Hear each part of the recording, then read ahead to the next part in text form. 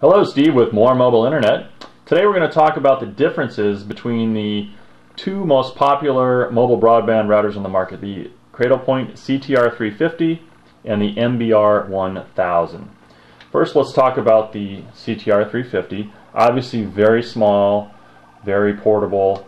You've got the power here, the WAN port here, so you can connect one uh, Ethernet cable there uh, and then the USB port here. So it does work with USB cards only with the exception of using uh, an express card with a adapter.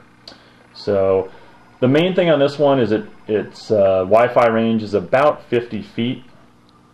Um, if you need more range than that, then that's really the reason that why you're going to want to go with the MBR 1000. This is just a much more powerful router. It has the Wi-Fi N standard, which is the latest and greatest Wi-Fi standard.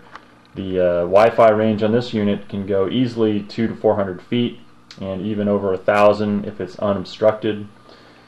It's got a, an express card slot as well as USB here.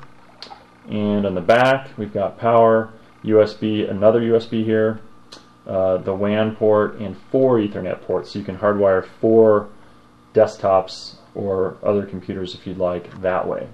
So it's just more versatile and it goes a lot farther.